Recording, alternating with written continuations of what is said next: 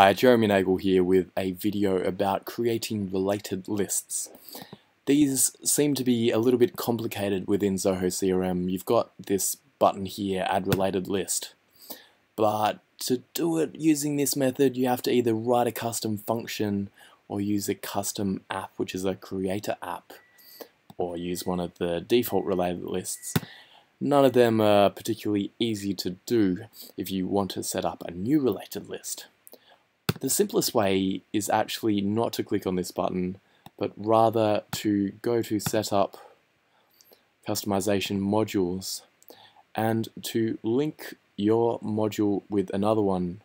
For example, I've I'll create a new custom module just for the hell of it.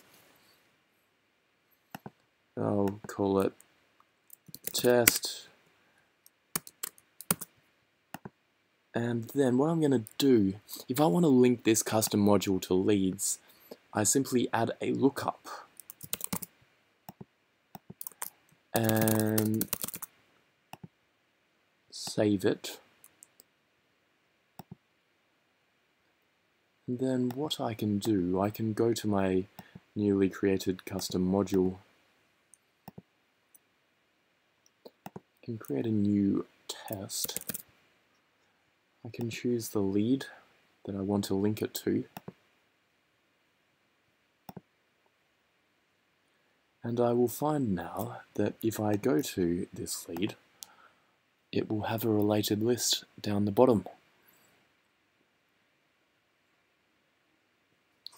You can see here related tests. That's the new related list that I created simply by adding that lookup and if I make a new test,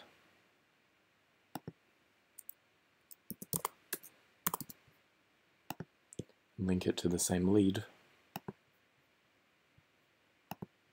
then I will find that there are now two related tests.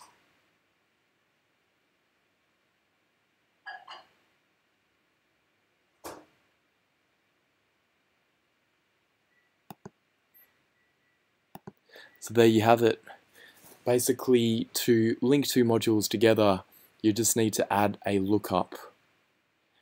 Keep in mind that it's basically, we're talking about a one-to-many relationship. So we've got one lead with many tests. Therefore, you add the lookup to the test, the custom module, rather than to the lead.